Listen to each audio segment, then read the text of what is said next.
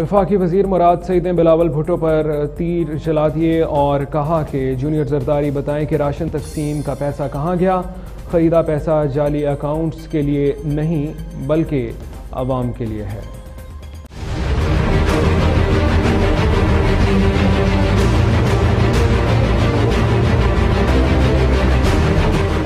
विफाकी वज़ीर मवासिलत मुराद सईद का समाजी रास्ते की वेबसाइट पर अपने ट्वीट में कहना था कि पर्ची पर आने वाले बिलावल भुटो जरदारी फिर पर्ची लहराकर कंफ्यूजन फैलाने आ गए हैं। मुराद सईद ने कहा कि एक करोड़ बीस लाख खानदानों को बारह हज़ार फ़ी खानदान विफाक ने दिए। सेहत, रोज़गार, कारोबारों को सहूलियात का बारह सौ अरब का पैकेज फ़ी विफाक ने दिया। उन्होंने कहा की chairman Pakistan Peoples Party Bilawal Bhutto Zardari बताए की राशन की तकसीम का पैसा किधर गया है। आवाम सड़कों आरोप एहतजाज और राशन के पैसे का हिसाब मांग रही है।